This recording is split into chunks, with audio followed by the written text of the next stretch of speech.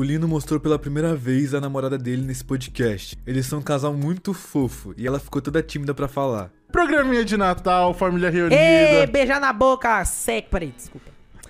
Tipo, e na vida da sua namorada, de quem tá em volta de você? Como que as pessoas enxergam tudo isso?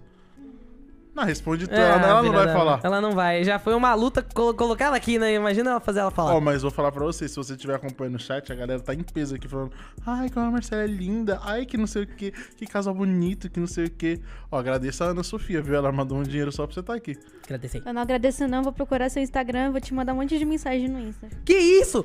Que isso? A única palavra que ela- as únicas palavras que ela fala é ameaçando a família da menina, tá ligado? Não é brincadeira. Meu, mudou coisa na vida dela também.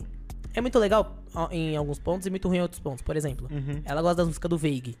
Eu já consegui fazer ela ver um show do Veig na Easy Team, por exemplo. Na frente, assim, ela tava no, no- no palco vendo o show do Veig.